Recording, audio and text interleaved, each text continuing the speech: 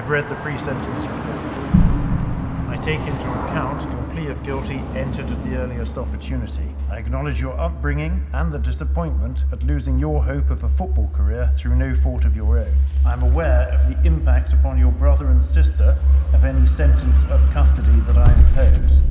I credit that the motivation for this offence was to provide for them.